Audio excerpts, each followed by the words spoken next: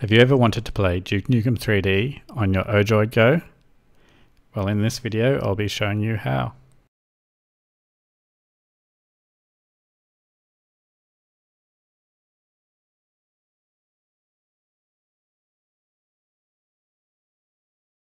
To start off you'll need to download duke3d.fw, the link is in the description.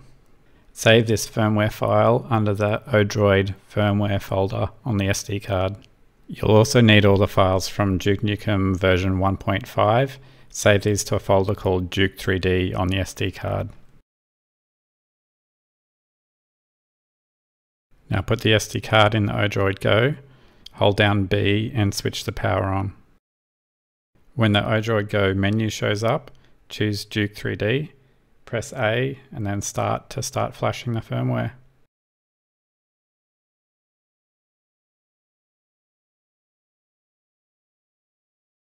Now just a disclaimer, it's not going to run really well.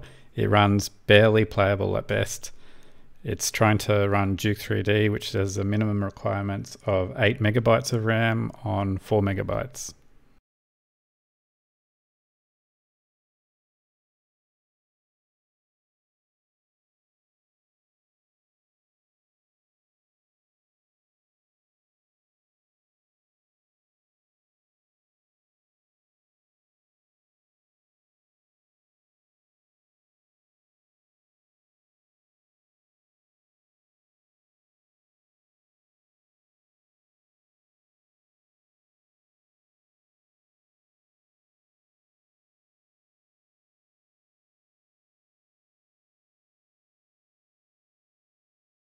In this video I have the frame rate counter in the upper left hand corner and as you can see it's under 10 frames per second most of the time.